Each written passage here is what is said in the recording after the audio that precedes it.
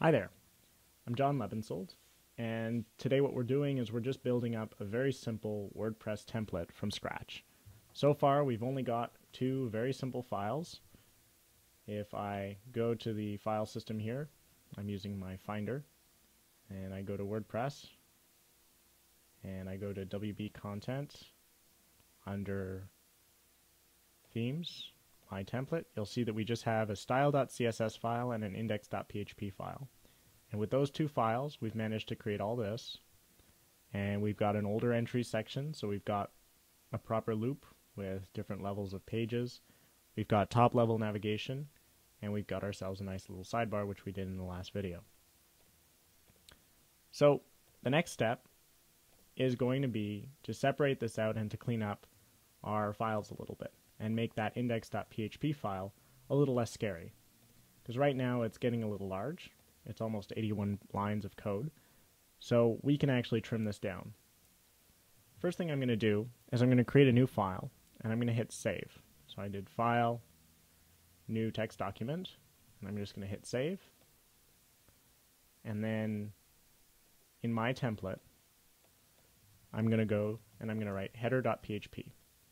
Now WordPress knows that header.php corresponds with the header. Next thing I'm going to do is I'm going to take the index.php file and I'm going to take everything in the header tag and up, so all of this, everything after the navigation and the closing div of header, and I'm to, just going to hit cut, and then I'm going to paste it into here, and I'm going to hit save, and I'm going to hit save here. Now if I refresh this page, I'm going to lose everything in my header. But don't worry, we can get it back by just going and creating a new PHP tag here and saying get underscore header, and then the closing PHP tag. And then WordPress knows that it's looking for header.php, and it'll find it. And there you go. The next thing I want to do is I want to pull out this sidebar. So to do that, again, I'm just going to hit cut, and I'm going to open another PHP tag, and I'm going to say get underscore sidebar. And I'm going to close my PHP tag and hit save. Then I'm going to create a new file, and then paste in my sidebar. Make sure it's properly indented. And hit save. And I'm going to call this sidebar.php. And if I refresh this, nothing should happen. But if I go back to my index.php file, it's starting to look a lot cleaner. All we have now is the content and the footer. Well, we don't have much of a footer yet, but now I'm much more inclined to create a footer because everything else is a lot less complicated. I'm also going to change my indenting a little bit, but we'll get the footer in first. So, as part of the footer, I'm just going to say create a new div and I'm going to call this class footer.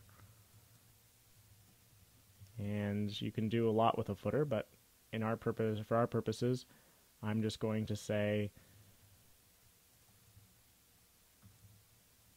in small text, this theme was made by me.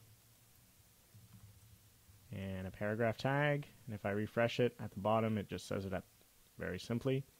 We also might want to give a little bit of credit to the fine folks at WordPress that have built this wonderful blogging and content management system. So I'm going to create another paragraph here with a class, and I'm going to call this thanks. And here I'm just going to say that this blog is proudly powered by WordPress.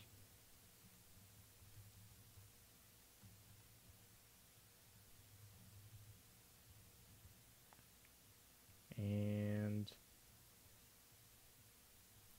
if you wanted to thank me, you could also do that here. But anyways. So now if I hit save and I refresh it, We've got this blog is proudly powered by WordPress, and this theme was made by me.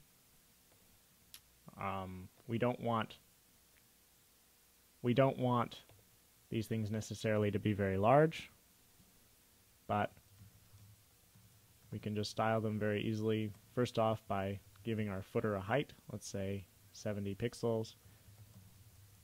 We'll give this uh, maybe a dark gray. We'll specify a certain color. And I'm going to say that the footer paragraphs should be 8 point. And lastly, that there should be a padding of maybe 20 pixels. Maybe 20 pixels is too much, 10 pixels. And that links should be also white. And I don't think we need that small tag, so I'm going to get rid of that since we're already styling it using CSS. And you could put any other kind of information that you wanted here, of course. Great. I'm just going to combine these two.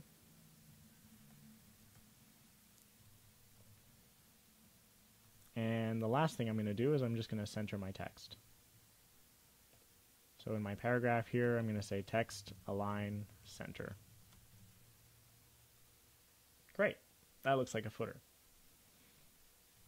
Now, just like we removed our sidebar and we removed our header, I'm going to take this section and everything at the bottom. I'm just going to hit cut and I'm going to open another PHP tag and I'm going to say get footer. Hit save, create a new file, paste it in, hit save, and footer.php.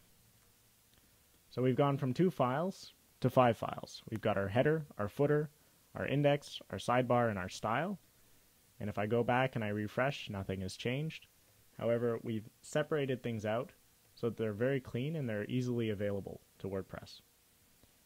The other advantage is that if I go to design now and I go to my theme editor, I can see that the footer and the header are all readily available to make changes. Personally, I wouldn't make changes this way, since sometimes the formatting doesn't necessarily work out and all of that. However, it's refreshing that you can easily direct your clients, or if you need a last minute change to be made, you can just direct them to this page and they can edit it using the theme editor. In the next video, we're going to be looking at how we can create specialized pages for things like the page versus the post. So when I click on About, I might not want it to be styled the same way as a blog post. We're going to do that. Thanks a lot for listening.